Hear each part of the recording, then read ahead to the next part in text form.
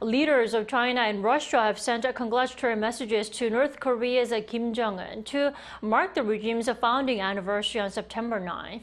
The North Sierra news agency said Monday that Chinese President Xi Jinping in his message called for deeper strategic communication and cooperation with North Korea, and that Russian President Vladimir Putin said a comprehensive strategic partnership would be strengthened between Pyongyang and Moscow.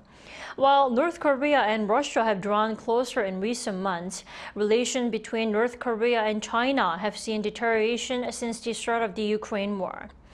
Kim and Putin met two times and exchanged several congratulatory and condolence messages over the past year, but this is the first message from Xi to Kim since New Year's Day.